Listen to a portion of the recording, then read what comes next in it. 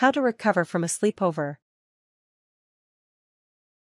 Coming home from a sleepover, or were you the host? You are probably tired, feel dirty, and grumpy. This is the way to recover. Steps 1. Unpack your stuff. You probably just don't want to, but you won't want to do it later. You just have to get this part over with. 2. Have a nice hot shower. Wash your hair, exfoliate your body, lather up, shave, whatever you need to do. Also, if you are very tired and you don't want to sleep, cold water will help you perk up a little. 3. When you're done your shower moisturize. Get a natural body lotion, or just a sweet-smelling one, and apply it to your body. Make sure to get the really dry areas such as your feet, elbow, and knees.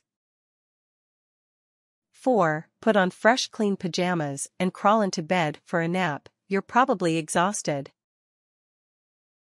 5. If you don't want to sleep, don't do something that requires a lot of energy, but do something calm, like reading, listening to music or drawing.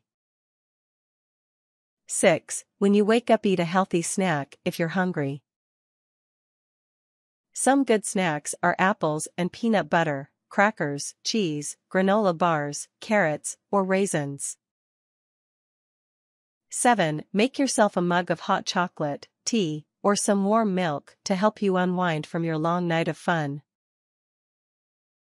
8. Snuggle up with your snack and watch a movie, preferably one that doesn't have a lot of action.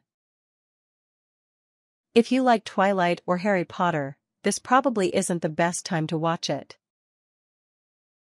9. If you had homework for some reason, do it if you haven't already. Tips If you're grumpy, try not to talk to your parents too much, you might get in trouble. Make sure not to do something that requires a lot of energy, because you probably are really drained from the sleepover. Make sure to do something fun but quiet. Later, you may want to have a bath and maybe have a little spa day.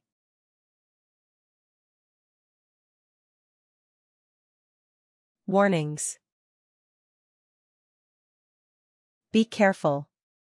If you stayed up all night, you might hurt yourself because you're so tired.